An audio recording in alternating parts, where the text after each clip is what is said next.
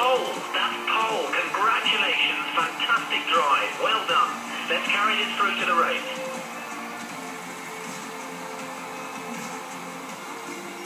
Welkom bij het zevende deel van de F1 2013 Season Challenge. En deze keer zijn we in Texas, in Amerika. We staan op pole position, onze derde pole position op rij. Om het gat dicht te maken naar Fernando Alonso van 36 punten. Maar waarom zouden we hier nog verder over kletsen? De lichten gaan aan. En als ze uit zijn, zijn we weg. En ze zijn uit. En mijn eerste versnelling is heel traag. Zoals je kan zien, we gaan naar de tweede versnelling. En Hamilton die heeft een hele goede start. Die zal waarschijnlijk als de leiding, de leiding pakken in de eerste bocht. We hebben Rosberg die aan onze binnenkant kijkt. Massa achter ons. Alonso overal auto's. Je weet niet meer waar wie is. En we liggen nu vierde. En Vettel die gaat zuipen met Rosberg. En Vettel springt op de remmen en laat Rosberg voor. Massa die kijkt bij ons aan de achterkant. En we liggen vierde na de start.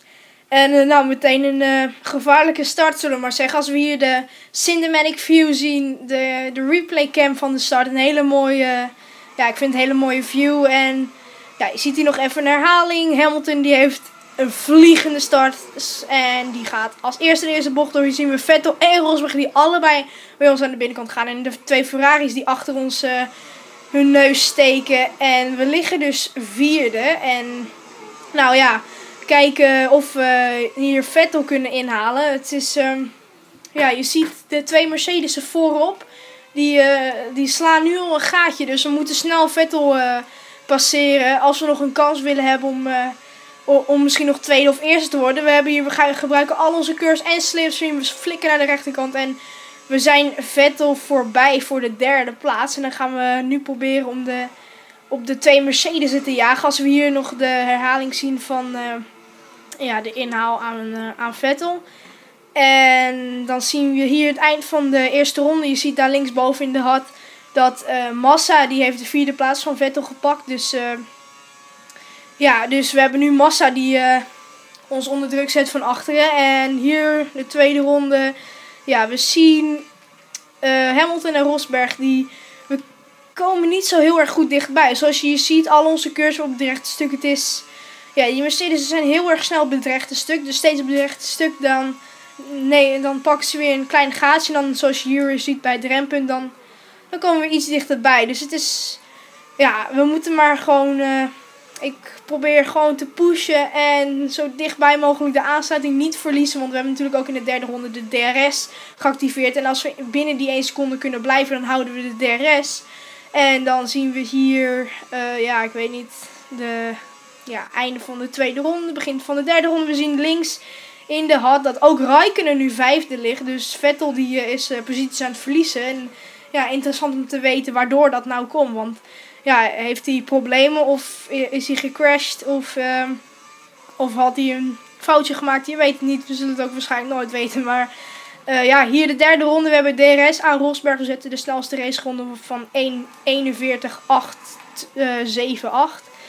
En we hebben ja, Rijken, Rijkenen die nu de vierde plaats heeft gepakt van Massa.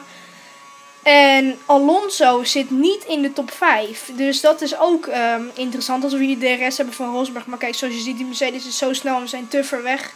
Dus um, ja, misschien in het dat we wel dichterbij kunnen komen, maar is te ver weg om, uh, om in te halen. Maar Alonso zit niet in de top 5. En dat betekent dat als we deze race uh, ja, voor hem finishen en dan kunnen we mooi dichterbij komen in het kampioenschap. Want mijn doel is nog altijd om gewoon eerst worden in het kampioenschap. Als we hier aan de binnenkant van Rosberg kijken. Oh, dat is heel close als dat. En bijna dat we elkaar er vanaf reden. Daar had ik waarschijnlijk penalty voor gekregen. Als je hier nog een replay ziet. We lokken onze uh, ja, inside wheel. En ja, we kijken aan de binnenkant van Rosberg. Maar Rosberg heeft meer traction uit, uit de bocht. Waardoor hij de, ja, de tweede plaats houdt. Je ziet hier dat we echt... Uh, op het jagen zijn. Ik blijf heel dicht achter hem rijden. En ik uh, probeer hem onder druk te zetten. Maar ja, ik, ik heb geen idee waar Alonso rijdt als Rosberg hier verdedigend naar de binnenkant gaat. En ja, dat zorgt ervoor dat we nog steeds niet in kunnen halen. Maar uh, ja, Button ligt negende. Die is eigenlijk dit hele seizoen is mijn rivaal. Maar ja, mijn echte rivaal is eigenlijk Alonso. En hij heeft niet echt voor veel uh, weerstand gezorgd. Behalve dat hij ons in de vorige race heeft verslagen in, in België. Door het ongeluk met Alonso. Als we hier een beetje de apex misten. In, ehm, ja, ik weet niet, dit deel van die eh, soort van magazine baggers lijkt het op van Silverstone. We hebben weer, oh het is al de laatste ronde, gaat snel. We hebben weer de rest van Rosberg. Kunnen we misschien hem inhalen aan de slipstream, flikken naar de rechterkant, net als bij de eerste ronde daarna Vettel. Maar Rosberg had de uh, binnenkant voor de, voor de bocht, waardoor hij de positie weer terugpakt. Die zag daar we verloren de achterkant, waardoor we heel veel tijd verliezen, verloren. En dit is de laatste bocht. Um, Lewis Hamilton heeft gewonnen. Rosberg is tweede. En wij komen als derde. Dit twee Mercedes waren gewoon te snel. Maar we hebben dus een derde plaats. En ik ben benieuwd waar Alonso is gefinished. Want ja, daar gaat het natuurlijk gewoon om. Uh, ja, ons doel was om als tweede te finishen. Dat is natuurlijk mislukt. Maar ik ben heel erg blij met de derde plaats. En Alonso is zevende. Dus die heeft maar zes punten gescoord. En we hebben er 15. Dus dat kan ons goed in het kampioenschap. Want uh, ja, eerst hadden we een afstand van 36 punten. Dus dat is nu uh, terug naar 29 punten. En we zien Lewis Hamilton heeft de leiding overgenomen in het kampioenschap. Daarna Nico Rosberg maar één punt erachter. En daarna Fernando Alonso drie punten erachter. Dus Fernando Alonso is in één race twee plaatsen gedaald in het kampioenschap. Die uh, eerste drie die zijn heel dicht bij elkaar. Uh, dus dat gaat nog een spannende strijd worden. En waarschijnlijk kom ik daar ook nog meedoen. En in de constructors staan we nog steeds zesde achter Lotus. En maar ja, lekker kort. Dat was alweer deze video. En ik hoop dat jullie het leuk vonden. Als je het leuk vond, doe dan even like. En um, abonneer als je ja, het leuk vond en nog niet geabonneerd bent. Dus um, dan zie ik jullie weer in de volgende video.